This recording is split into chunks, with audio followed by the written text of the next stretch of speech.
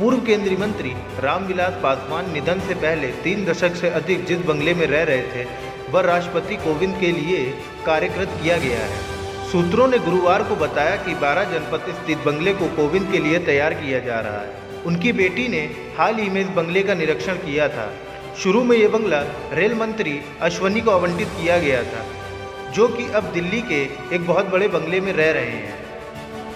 राष्ट्रपति कोविंद का कार्यकाल 24 जुलाई को खत्म हो रहा है। सूत्रों ने कहा है कि 12 जनपद बंगला अभी तक आधिकारिक रूप से किसी को आवंटित नहीं किया गया है। उसे राष्ट्रपति कोविंद के नए आशियाने के तौर पर तैयार किया जा रहा है, जो कि अपना कार्यकाल समाप्त होने के बाद उसमें रहेंगे। कोविंद का कार्यकाल 24 जुलाई को खत्म हो रहा है। रामविलास पासवान के बेटे चिराग ने नोटिस मिलने के बाद यह बंगला खाली कर दिया था।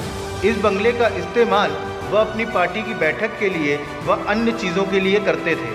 आपको बता दें 18 जुलाई को राष्ट्रपति के चुनाव होने जा रहे हैं। इसीलिए पार्टी ने रामनाथ कोविंद को एक नया बंगला आवंटित किया है। Bureau report, IPN.